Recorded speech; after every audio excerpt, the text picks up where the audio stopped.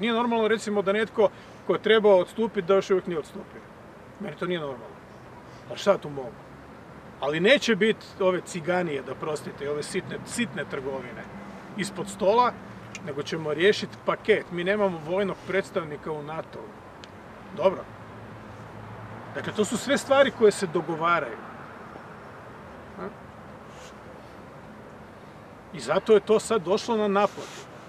Jer je Plenković iz neke nedođije, ne mislim na geografsku ili zavičajnu nedođiju, nego na mentalnu, intelektualnu nedođiju, doveo nekog momka ponavljača za ministra i čovjek se u jednom trenutku osjetio vrlo važan, muljao je u ministarstvu, to kažem sa punom odgovornošću.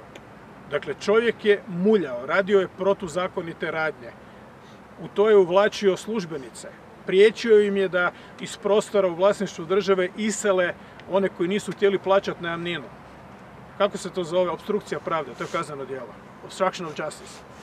I to je udokumentirano u zapisniku. Ja ponovno pitam DORH.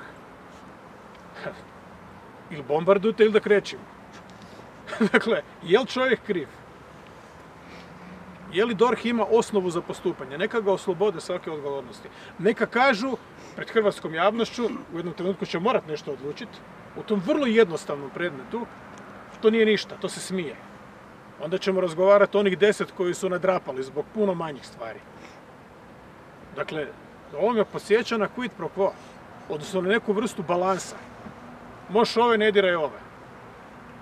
Možeš ovog nesretnika iz SDSS-a koji je nadrapao zato što je slušao svog zločestog šefa i starijeg političkog mentora Pupovca, on će ići valjda u zatvor, a ovaj koji je, koji je priječio službenice, urbi je torbi.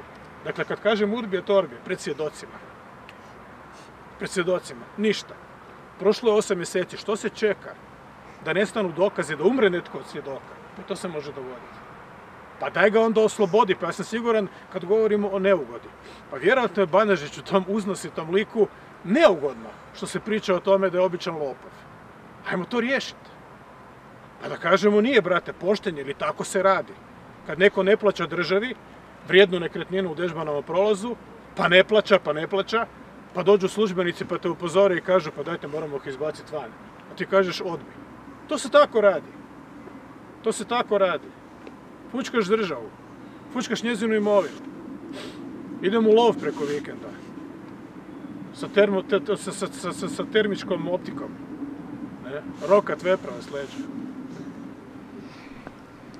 To je To to. Hvala. To je to. I sljedeći put, kad me budete pitali za Jaglaca, opet će biti ista, isti forte i bit će isti light motiv. Što radi DORH? Taj čovjek je uhvaćen u transgresiji, prekršaju, prijestupu. definitivno. Idemo vidjeti. Lažno svjedočenje. Pokrenite postupak protiv gospođe XY koja ga je prijavila. Zajedno sa zapisnikom sa sastanka. Mislila sam da